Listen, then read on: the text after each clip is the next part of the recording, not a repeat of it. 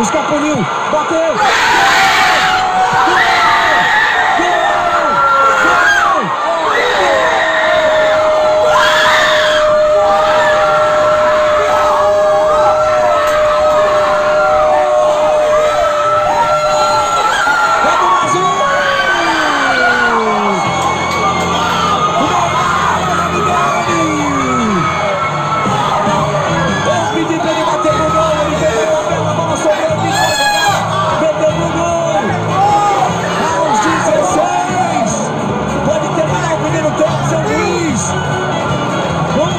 Brasil.